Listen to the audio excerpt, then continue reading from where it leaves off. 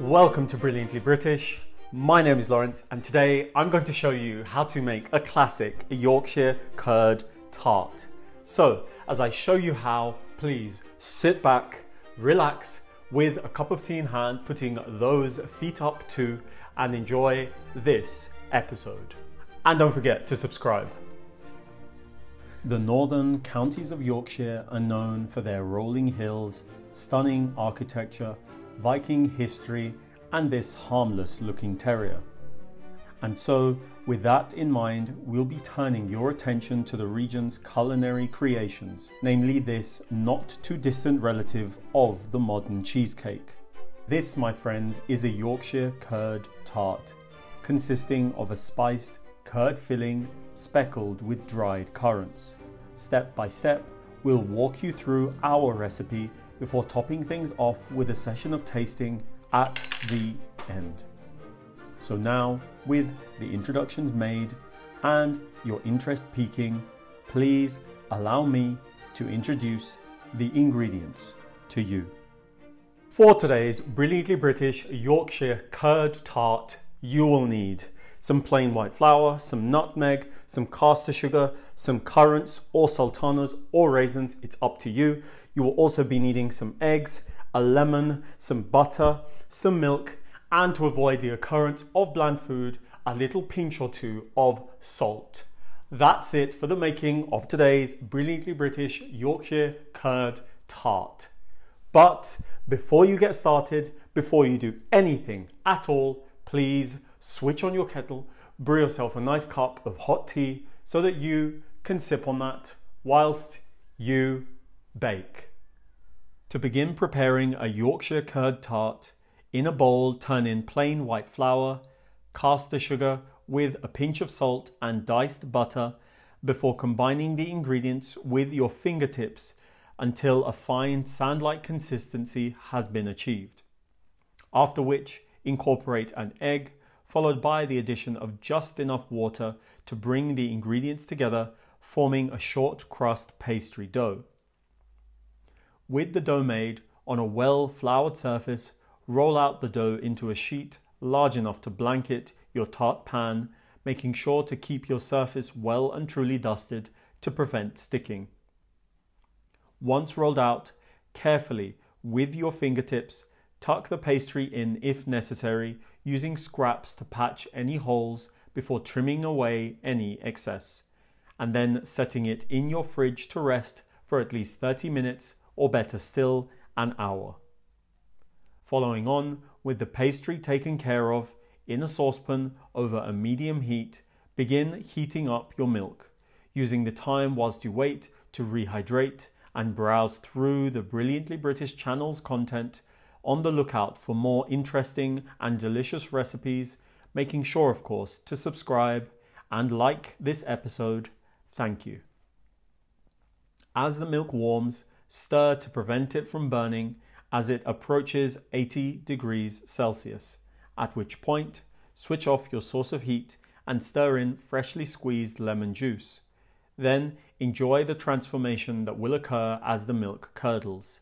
This process will also require you to leave the milk unattended for 10 to 15 minutes, so feel free to take a break in the meantime. Moments later, with the transformation complete, yielding this relatively appetizing whey curd mixture, pass the mixture through a muslin or kitchen towel lined sieve over a colander atop a bowl, squeezing the cloth thereafter to drain away any excess moisture from the curds.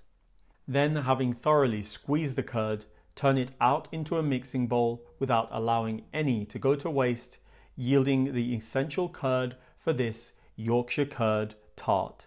Having set the curd to one side, recall your pastry lined tart pan, which should have its bottom and sides pricked with a fork to prevent bubbling before being lined with baking paper and foil and then weighed down with baking beans, pasta, or rice in my case, topped once more with a sheet of foil before blind baking in my preheated oven, using the time whilst I wait to take a much needed break.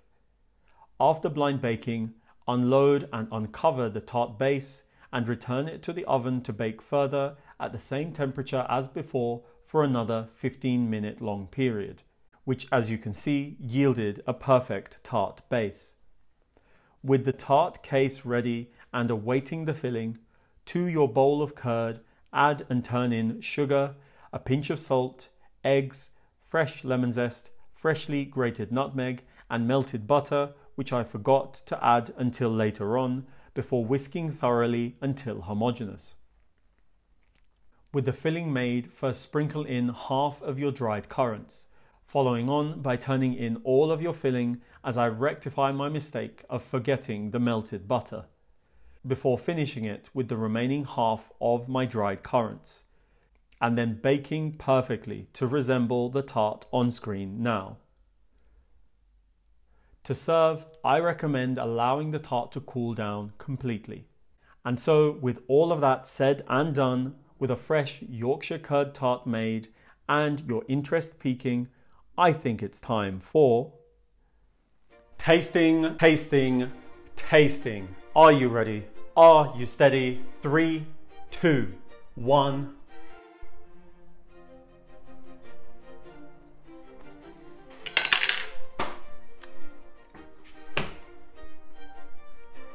Oh, it keeps giving. Still giving. Wow. the perfect palate cleanser. Right, you heard me say this tart just keeps giving and giving and giving. That's me trying to quantify, describe, detail to you the experience I'm having right here. The filling is creamy. The, the, the curds, the cheese curds really do come through and it's really satisfying, gratifying to know that the curds have been made in my own kitchen, the same way you can make it at home yourselves. The red currants are something that I really appreciate as opposed to raisins or sultanas.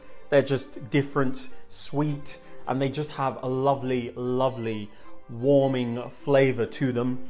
The nutmeg, the lemon zest comes through as well to add other elements to this filling.